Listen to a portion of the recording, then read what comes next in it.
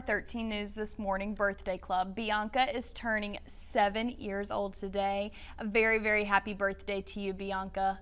Vicente is turning four years old today. Oh, a very happy birthday to you. Absolutely love the Paw Patrol shirt.